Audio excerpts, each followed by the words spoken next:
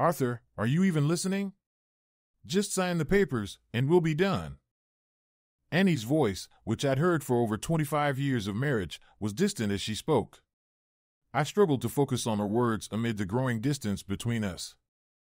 It all began this afternoon when I returned from work. Annie sat at the table, a determined expression on her face, with a glass of wine in hand. But she hadn't thought to pour me one, despite the impending weight of our conversation. Sitting down, I knew it wouldn't be an easy talk. She wasted no time informing me that she was leaving, having found her soulmate, someone who stirred emotions in her that I apparently never did. Her voice grew louder, but to me, it seemed to fade. Our story was conventional. High school sweethearts, we'd stayed together, had a daughter, Sally, shortly after marrying. While not rich, we were comfortable. Our love, while perhaps not as fiery as in our youth, was evident in our family vacations and regular expressions of affection. Annie's voice grew more insistent, demanding I sign the papers in front of me. Despite her urgency, I struggled to focus. It was as though the world around me dimmed, despite the bright kitchen lights. Internally, turmoil brewed, but outwardly, I was numb. Annie's frustration peaked, culminating in a slap I barely registered. The blow would surely leave a mark, but I couldn't feel it. Darkness crept in as the world faded. Sally. The drive home from university had been tiresome due to an accident. Upon arrival, the house was strangely silent. Dad sat at the table, motionless, amidst an open bottle of wine and a stack of papers. Approaching Dad from behind, I gently touched his shoulder. No response. Walking around to face him, I was alarmed by his distant gaze, tear streaks on his cheeks, and a line of drool trailing from his mouth. Dad! Please, wake up! Panic surged as I struggled to elicit a response, tears welling in my eyes. Realizing I needed to act, I steadied myself. Calm down, Sally. Dad needs help. Dialing emergency services, I relayed the situation, providing our details and address. As I waited for the ambulance, memories flooded my mind. Dad, always present at my school events, endured my early violin practice sessions with unwavering support. His gift of a Hidersine violin on my 16th birthday held deep sentimental value, symbolizing his sacrifices for my passion. Glancing at the divorce papers, I was stunned. Why would mom want to leave dad? The revelation soured my emotions, eroding any remaining sympathy for her. When the ambulance arrived, I guided them in transporting Dad to the hospital. Locking up the house, I notified family, friends, and Dad's workplace, conveying the situation and his impending absence from work. Everyone wanted updates on Dad's condition, and his manager assured me he'd arrange emergency leave and inform their boss. Despite my anger towards her, I knew I had to call Mom. The phone rang, and after a few rings, she answered. Hi, Sally, darling, how was your day? Her casual tone infuriated me. It had only been an hour since I found Dad at home, and Mom knew my schedule well enough to know I'd discover him. Where are you, Mom? I'm out and about, sweetie. Her response trailed off, evasive. So, in other words, you've shattered Dad, your husband, and walked out on him without a second thought? Mom tried to downplay it, but finding Dad as I did suggested otherwise. It seems you abandoned him when he needed help. Are you that heartless? Do you even care? My anger began to surface. Sally, dear, don't get upset. Your father will be fine. I only want what's rightfully mine and some support while I'm with Paul. My mother seemed detached from reality. You haven't seen anger yet, mother. Dad's in an ambulance headed to the hospital. When I found him, he looked like he had a stroke. I'm sorry to hear that, but no excuses, Mother. Is this the same Paul from your work you've been talking about? Her hesitation confirmed it. So, you've been having an affair with a man a dozen years younger than you for the past six months, deceiving Dad and me. I had no idea you were capable of this betrayal, and neither did Dad, judging by his condition. How did you think we'd react? Well, at first, don't even try to justify it. Once you're living with Paul, you'll realize we're meant to be together. Her use of we infuriated me further. Did she expect me to abandon Dad for her boyfriend? I could feel my anger boiling over, and I knew I needed to calm down before saying something regrettable. I'm going to end this call before I say something I regret, I stated firmly. But let me make it clear I will not abandon Dad, and I have no intention of going anywhere near Paul, let alone the place you're whoring away in with him. Sally Other, my mother exclaimed, offended. I'm your mother, and I won't tolerate being spoken to like that. Then I guess we're done talking, I replied, hanging up before she could say more. If she expected me to condone her actions, she was mistaken. She attempted to call me back several times, then started calling Dad's phone, despite the unlikelihood of him answering her call. I ignored her calls, holding onto Dad's phone. When I reached the hospital, Dad had been admitted, and Aunt Rhonda was there. She informed me of the calls she'd received from Mom, though she wasn't fully aware of the situation. After explaining, Aunt Rhonda's face turned scarlet with anger. Sally, do you have the documents your mother left? she asked. Yeah, here, I said, handing them over. Aunt Rhonda, being our family attorney, spent the next hour reading through them and making notes, occasionally muttering under her breath. Doctors and nurses came in and out, checking on Dad. The bad news is your mother is proceeding with the divorce, Aunt Rhonda said. It's been in motion for over two months and had to be served this week to avoid additional legal fees. I shrugged, already having enough justification for Mom's actions. She and Dad were headed for separation because of what she'd done. On the bright side, Aunt Rhonda continued, Mom had hired an incompetent lawyer, while Dad had the best in town at a family discount. Some of these claims she's making, like 50% of the house's equity and 60% of financial assets, plus spousal and child support, are likely exaggerated, Aunt Rhonda explained. And given your reaction, I assume you won't be living with your mother? I shook my head. No, definitely not. Good, Aunt Rhonda said. I have some initial thoughts, but let's wait and see what happens with your dad over the next 24 hours. Your mother could already be in legal trouble for abandonment and mental cruelty. The days passed quickly, with doctors regularly checking on Dad. Physically, he was in good health, but he remained unresponsive. I managed to study for university while sitting by his bed, laptop, and textbook in hand. Occasionally, family members would relieve me, allowing me to go home, rest, and return. I admit I shed a few tears alone at home. One surprise visitor was Tina Williams, the owner of the company where Dad worked. Though I knew his manager, Tom, I had never met Tina before. She was an impressive woman, with a striking appearance, voluptuous yet not overweight, with tan skin, dark hair, and captivating blue eyes. Tina had come to check on Dad because he had been part of a group at work who supported her during her messy divorce years ago. Dad had introduced her to Aunt Rhonda, who had helped her navigate the legal complexities and retain her assets, including her business and child support for her daughter. Tina visited Dad several times, bringing cards from his coworkers and sharing stories from work. It turned out Dad was known for his humor in the office, and everyone missed his presence. Dad worked as an accountant for a financial clearinghouse, handling payments between banks and financial institutions. While his job could be tedious, he brightened the workday for everyone with his jokes and cheerful demeanor. One afternoon, when I returned from a shower and nap at home, I found Rhonda and Tina finishing a conversation. They seemed irritated, but their frustration was directed at my mother, not each other. My mother had sent a demand letter to Tina, seeking access to Dad's past bonuses. Ignoring the fact that the bonuses had already been paid, she demanded 50% of them within 30 days or threatened legal action. Rhonda smirked. Besides the absurdity of the demand for already paid funds, it seems she and her new partner are short on cash since I froze all the joint assets while Arthur is incapacitated. I chuckled, announcing my presence. This morning, I received my first message from Mom in two weeks, a text asking for a few thousand dollars. I haven't responded because I'm still quite upset with her. Not once has she asked about Dad since I told her what she did to him. Tina had become very defensive of my dad over the last couple of weeks. Whenever my mother, whenever any other's name came up, Tina's expression would darken and her voice would take on a low, intense tone, revealing her deep disdain for Annie.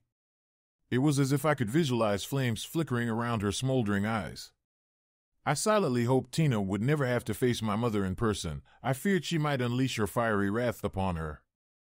Despite my current feelings toward my mother, she was still my mother. She has destroyed the most wonderful man. Sally, if it weren't for your father, I would not have my Clarice or my business. Many in the office supported me during one of the lowest points in my life, but your father went above and beyond.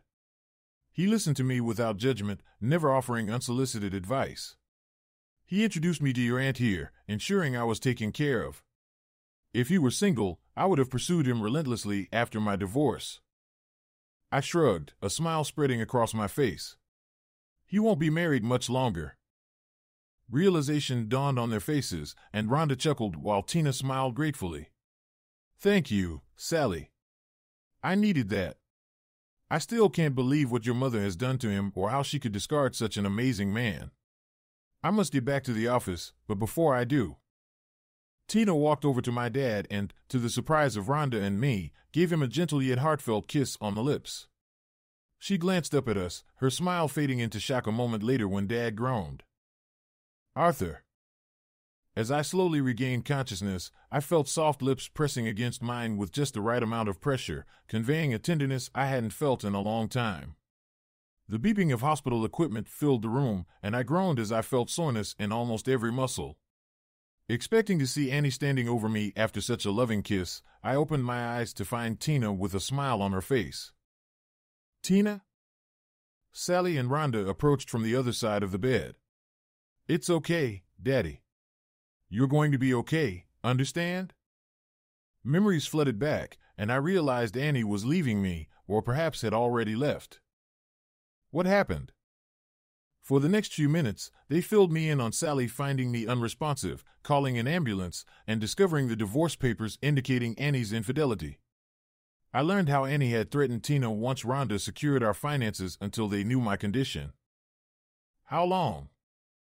Two weeks, Arthur, Rhonda replied. I turned to Tina. Um, did you kiss me? Tina blushed. Yes, sorry. I was about to leave for the office and was saying goodbye.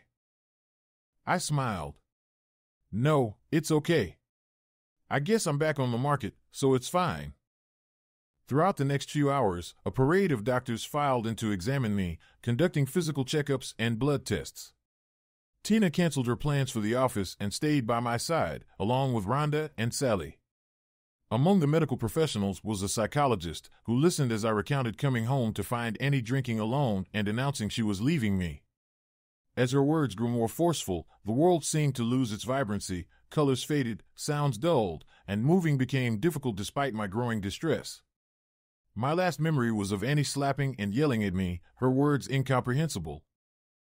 The girls gasped collectively at the revelation of Annie's abuse while I lay unresponsive. Daddy, do you remember what time it was when you couldn't respond anymore? Sally asked. I'd say around 5:30, baby. Why? I replied. Because it was after 7:30 when I found you at home and there was no red mark on your cheek, so I assume mom must have left you there alone for quite some time. The psychologist interjected, explaining that it's not uncommon for someone in my situation to experience abuse while unresponsive, especially given the shock of Annie's declaration. Rhonda shared a childhood incident where I had been teased by a bully and later found lying unconscious in a park, waking up the next day as if nothing had happened. I remember that, I said, recalling the bully's apology the following day. I think we might have some precedent here, the psychologist remarked, suggesting that the mind's response could be a defense mechanism. Feeling tired despite just waking from a two week sleep, I sent the girls home to rest, promising they could visit me the next day. Over the following two days, I eased back into life. Tina provided me with work tasks to keep me occupied, Rhonda reviewed divorce documents and collected my signatures, and she also introduced me to a young detective named Karen Hill. Detective Hill conducted a thorough interview with me about the events involving Annie that night, expressing gratitude before informing Rhonda and me that her report would be ready in a few days. Uncertain if we were pursuing a complaint against Annie, Rhonda reassured me to leave it in her hands, kissing my forehead before departing. On the second day after my awakening from what Sally dubbed my checkout, I was discharged to return home. Tina surprised me by meeting us at the door and assisting Sally in escorting me to her large suburban SUV. Tina stayed for dinner that night, joining us for takeout and helping with cleanup before spending a few hours watching TV. As she prepared to leave, Sally hugged her, insisting I accompany Tina to her car. Tina, thank you for everything you've done these past few weeks. I don't know how to repay you, I expressed my gratitude.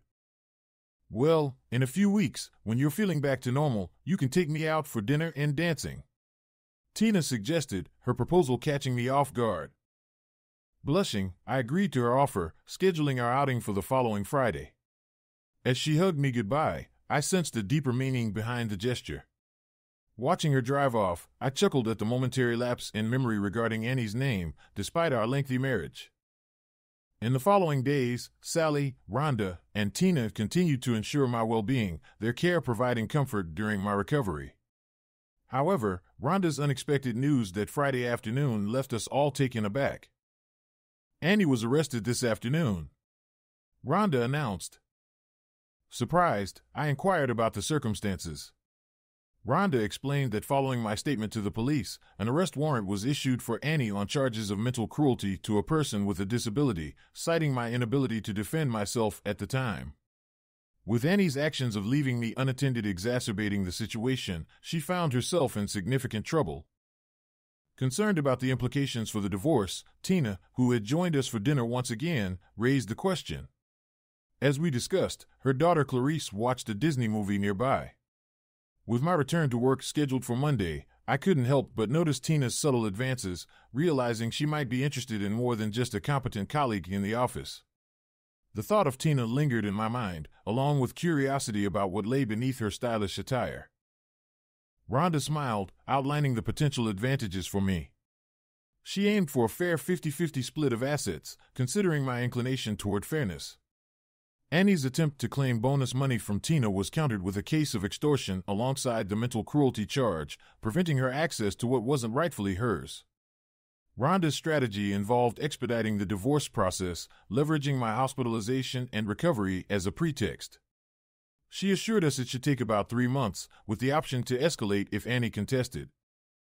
Sally inquired about the timeline, to which Rhonda estimated around three months, with potential for prolongation if contested.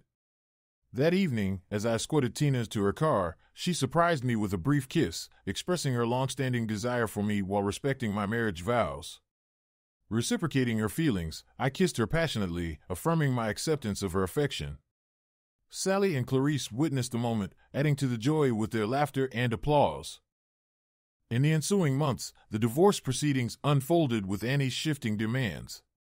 Influenced by Paul, she pushed for an unfair settlement, which Rhonda swiftly addressed with a single call to Annie's lawyer, prompting a change in stance overnight. Meanwhile, Tina and I enjoyed weekly dates, with Sally's assistance in babysitting Clarice. Though our interactions remained chaste, anticipation built for the day my divorce would be finalized. Now that I was back at work, things were going smoothly. Our financial organization was profitable, though not among the top tier. We all did our jobs well, enjoyed decent pay, and had a good camaraderie. It seemed the staff had caught wind of Tina and me becoming an item, but while everyone was supportive, I had to dial back my usual antics.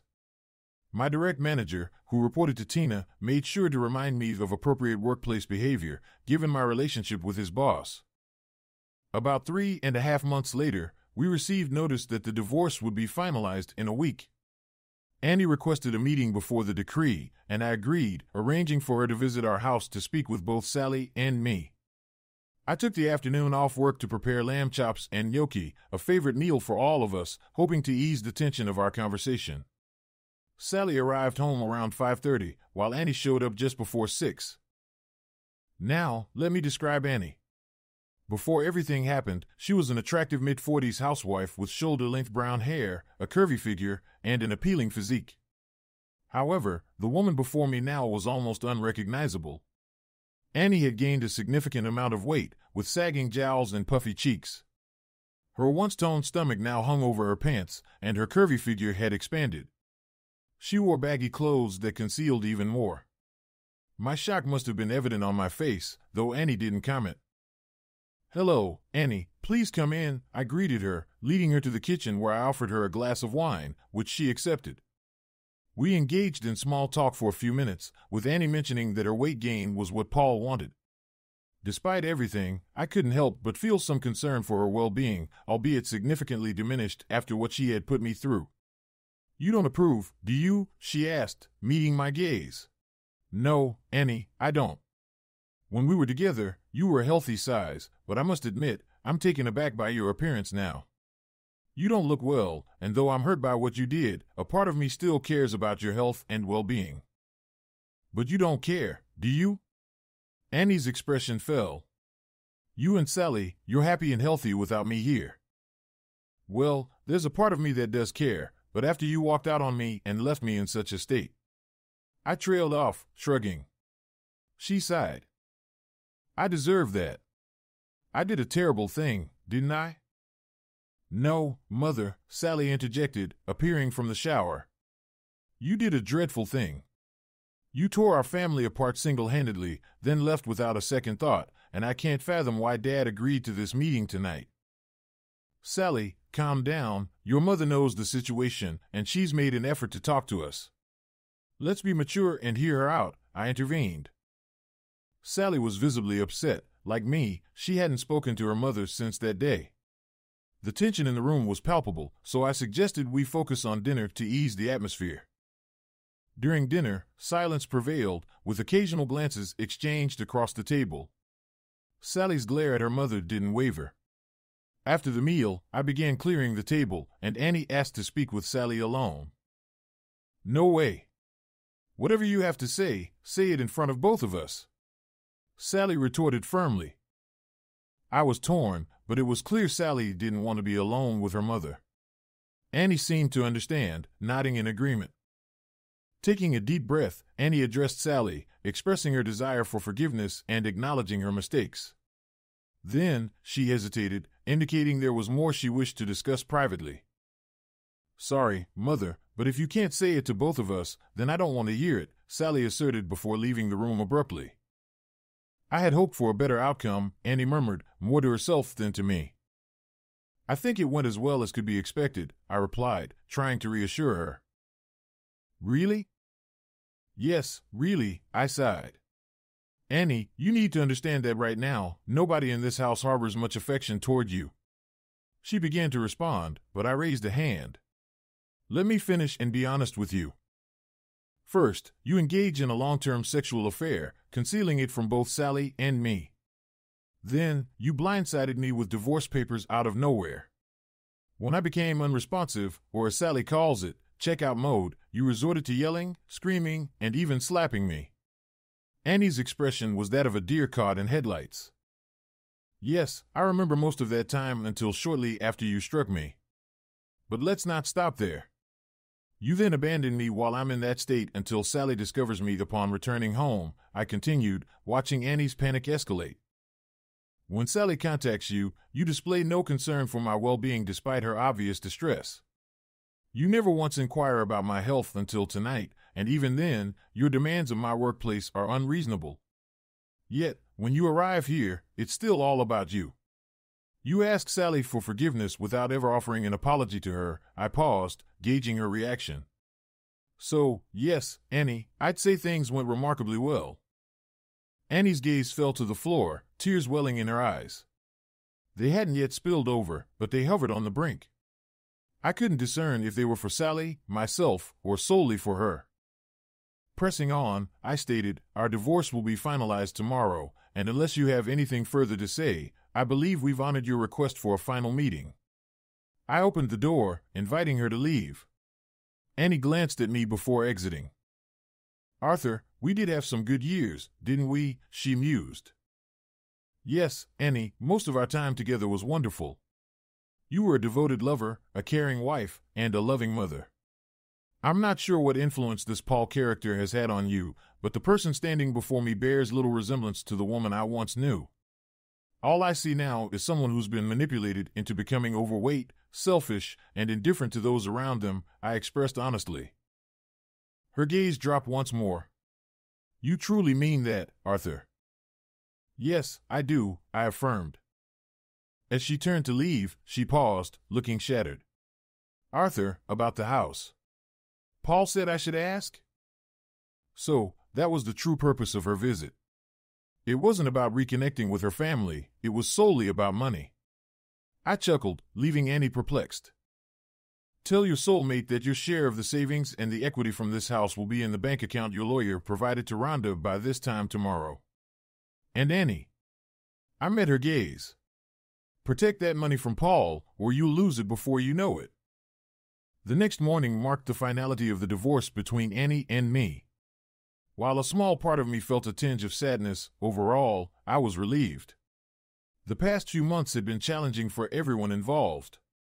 Now, at 48, I felt liberated, knowing there was still plenty of life ahead of me. Rhonda called to inform me that she'd treat us to pizza at my place that evening. Sally swung by my office for lunch, and we reminisced about happier times as a family. Despite her strained relationship with her mother, I sensed Sally missed the woman she once knew. Honestly, I did too. We shared many good years together. Later, Tina's actions seemed to suggest a signal between her and Sally. Shortly after Sally left, Tina summoned me to her office and initiated a passionate kiss. I reciprocated, and amidst the fervor, she asked, can I claim you as mine now, Arthur? Feeling a slight soreness on my neck from her earlier affection, I replied, I think you may have already done that. Dinner that night was joyful, with Sally, Rhonda, Tina, and Clarice celebrating my newfound freedom from Annie. Later, when the girls were asleep, Tina and I consummated our relationship. Everything seemed right, and Tina's lingering soreness over the weekend hinted at our shared passion.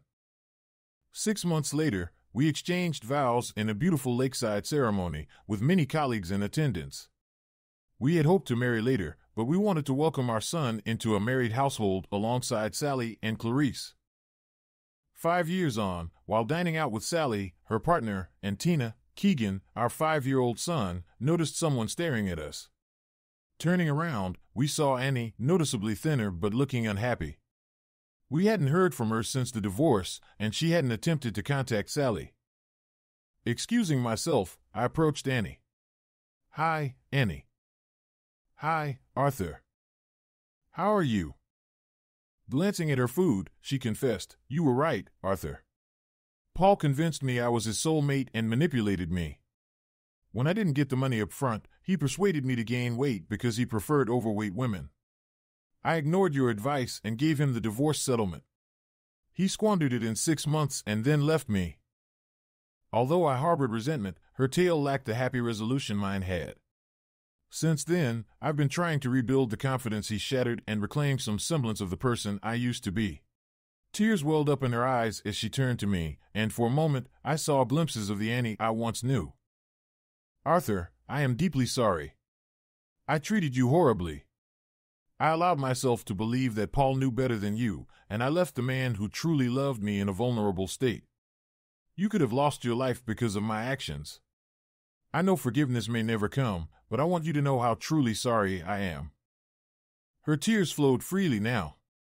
To my surprise, Sally had approached and stood beside me, also hearing her mother's apology. I glanced at Sally, and she gave me a tired smile, squeezing my hand. Perhaps it was time, or maybe Sally sensed her mother's genuine remorse for the first time. Her demeanor softened, and she reached out to Annie. Seeing Sally's gesture, Annie attempted to flee in panic, but Sally stood her ground, blocking her way. Mum, please stay. You don't have to leave. Sally slid into the booth next to Annie, and I took the seat on the other side. Catching Tina's nod, we allowed mother and daughter to converse for the next hour. There were tears shed, but this time they were healing tears, not tears of hurt. Once they caught up, Sally and I brought Annie over to meet everyone else. I could sense Annie's discomfort when introduced to Keegan as Auntie Annie. From that day on, we slowly welcomed Annie back into our lives. Sally and her mother rekindled their relationship gradually, meeting for coffee every week or two. Trust was rebuilt over time. When Sally got married, Annie proudly played the role of mother of the bride. Tina occasionally invited Annie over for dinner, initially perhaps out of spite, considering what Annie had lost and Tina had gained by marrying me. However, their relationship evolved into a peculiar friendship that I never quite understood. Rhonda, however, never forgave Annie for her actions, though she remained cordial in their interactions. As for me, with Tina's support, Annie and I sought post marriage counseling to address our past issues. We delved into the events of five years ago. The counselors suggested hormonal imbalances as a possible factor, but Annie dismissed it outright. No, I made a grave mistake that day. I had a loving husband and a daughter who wanted my presence. No hormonal imbalance can justify how I dismantled everything good in my life for someone who turned out to be nothing more than a disappointment in bed. I owe Arthur and Sally so much better. She smiled wistfully at me. It took me five years to reconcile, five years that I lost with them.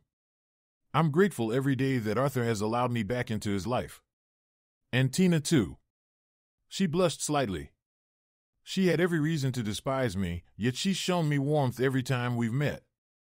I realize now that she ended up with everything I foolishly discarded, and I'll carry that regret for a long time. Annie gained a lot from our counseling sessions, perhaps more than I did. It was reassuring to confirm that neither Sally nor I were to blame for Annie's departure. Tina played a crucial role in lifting us up and forging a stronger family bond. They say karma catches up eventually, and it certainly did for Paul. He ventured into the next state, once again attempting to seduce a married woman for her money. However, this time, the husband caught wind of it and dealt with Paul severely. Rhonda hinted that the husband might be out of prison soon, fueling rumors about his revenge on Paul. Tina and I are still deeply in love. I never thought I could love anyone as intensely as I did Annie, but Tina proved me wrong. She not only showered me with her love, but also bared her soul to me without reservation. We continue working together in her company, and I remain in the same position. We have our share of ups and downs, but we always prioritize communication. Tina's beauty still captivates me, and our passion remains alive, often indulging in lovemaking, even in exotic locations during vacations. Just one glance is all it takes for me to whisk her away to the bedroom. Once, after a passionate encounter, we joined Sally and Annie in the kitchen. We recently learned that Sally was expecting, adding excitement to the room as the girls discussed plans for my first grandchild. Sally, honestly, your dad and Tina are like teenagers sometimes. Tina, you must tell me your secret. Maybe I can share it with Fred. Annie teased. The girls chuckled, and I felt my cheeks flush. Annie had been dating casually, but nothing serious until Fred entered the picture. Mom, give them a break. We all know that Dad's been on a mission since his checkout incident. Sally teased, mischief glinting in her eyes. Annie looked taken aback, Sally laughed, and Tina blushed. I simply leaned back, amused by my girls, and felt a surge of desire looking at Tina. Excusing myself, I headed back to the bedroom, with Tina following suit and locking the door behind her. Thanks for watching. Subscribe to the channel not to miss new videos.